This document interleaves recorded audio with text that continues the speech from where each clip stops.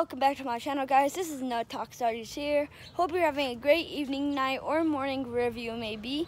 And today I'll be making a video about my garden that I have been planning about and so far it's doing so good and we added two new things. It was onion and garlic so here is what it looks like. So far so good. We have um, tomato right there Got onion right here.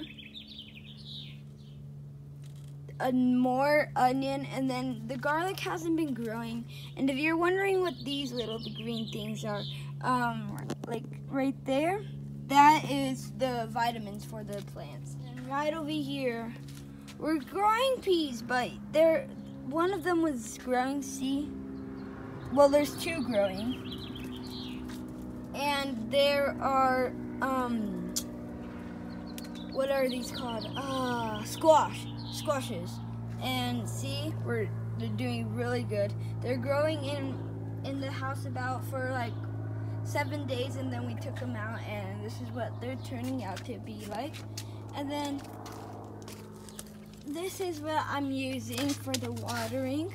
It's this Gilmour um, sprayer, and um, you could change it to like different ones.